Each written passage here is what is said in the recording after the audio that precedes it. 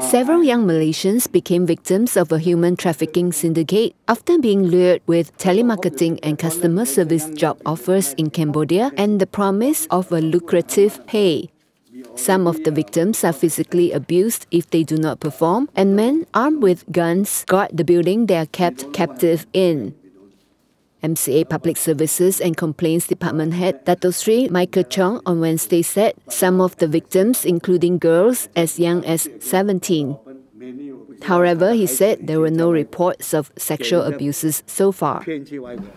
I want to alert uh, Malaysian, fellow Malaysian, uh, all these young people, uh, young, young people,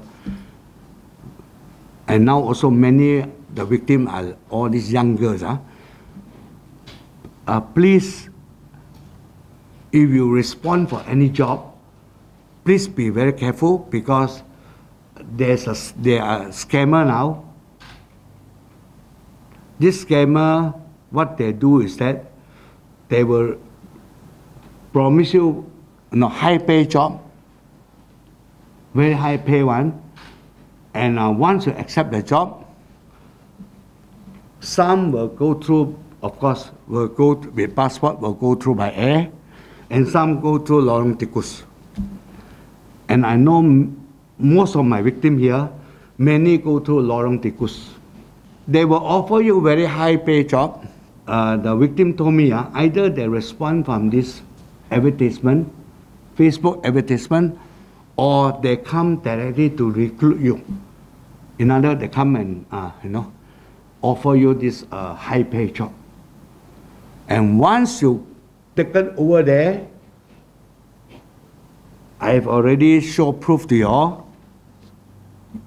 You work there, it's not a normal job, but you are forced by all this uh, syndicate to do the, all this cheating job. And if you are Malaysian, you will, you will be given a laptop to cheat Malaysian. And if you didn't do well, and if you couldn't cheat any money or thing, you will be beaten up. Chong said his department has received more than 10 cases seeking help, but only two have been rescued. He added that the two victims are in the immigration detention center because they have overstayed and went there without proper documentation.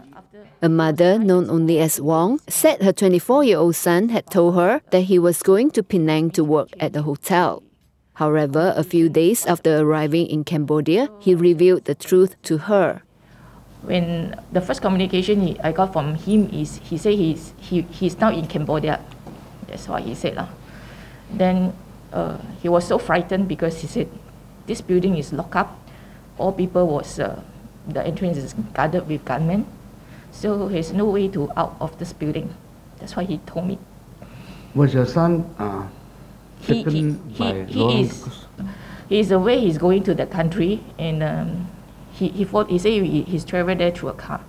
So how to travel there to car I don't know but he said he was in a black car is fully black he cannot see outside along throughout the journey lah.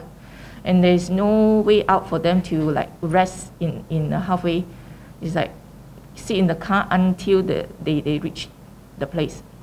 He said he got a reference uh, from a friend from so, a friend. Yeah, he, he very he sounds like a very look up to this uh, little young man, younger than him a lot. So he say he's very intelligent, uh, and then he say this this job is very good pay.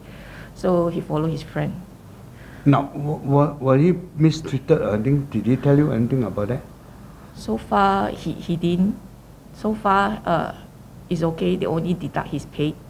They give him pay and he couldn't he couldn't do any sales at, at the moment. And they already sell him to another company.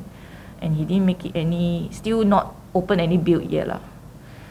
so he's afraid that they're going to sell him to another company.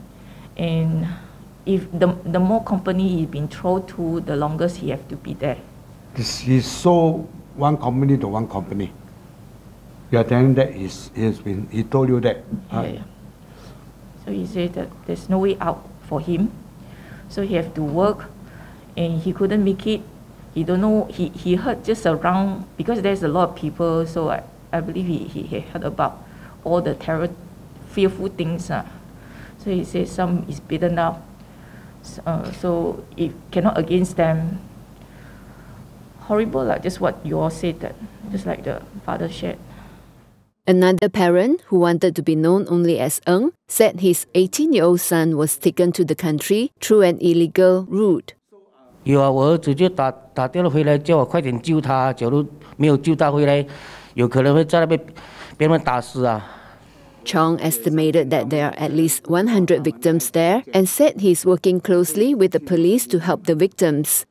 A victim told Chong that there were some 50 Malaysians held captive in the same premises as him. And I can reshape them, but now we all are put in a different place already, not like not like before. All all 俾人埋咗喺唔同嘅地方咗，已经分散咗好多。but a lot, a lot the new guys also coming here. Now around, I think more than 50 people.